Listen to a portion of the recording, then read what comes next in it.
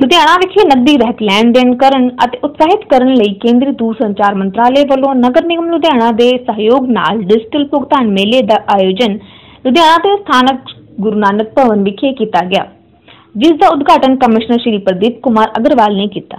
ਸਮਾਗਮ ਨੂੰ ਸੰਬੋਧਨ ਕਰਦਿਆਂ ਸ਼੍ਰੀ ਅਗਰਵਾਲ ਨੇ ਆਮ ਲੋਕਾਂ, ਖਾਸ ਕਰਕੇ ਨੌਜਵਾਨਾਂ ਨੂੰ ਸੱਦਾ ਦਿੱਤਾ ਕਿ ਉਹ ਦੇਸ਼ ਵਿੱਚੋਂ ਭ੍ਰਿਸ਼ਟਾਚਾਰ ਵਰਗੀ ਬਿਮਾਰੀ ਨੂੰ ਖਤਮ ਕਰਨ ਲਈ ਨਕਦੀ ਰਹਿਤ ਲੈਣ ਦੇਣ ਨੂੰ ਅਪਣਾਉਣ ਅਤੇ ਉਤਸ਼ਾਹਿਤ ਕਰਨ।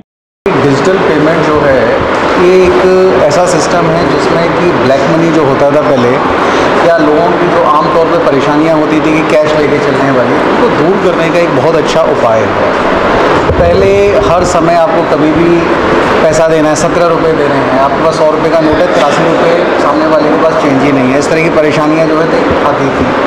अब सेवनटीन रुपीज़ अगर किसी को पे करने हैं, आप डिजिटली पे कर दिए एग्जैक्टली सेवनटीन रुपीज़ आप पे कर सकते हैं, कोई चेंज का, कोई किसी तरह का झमेला नहीं है।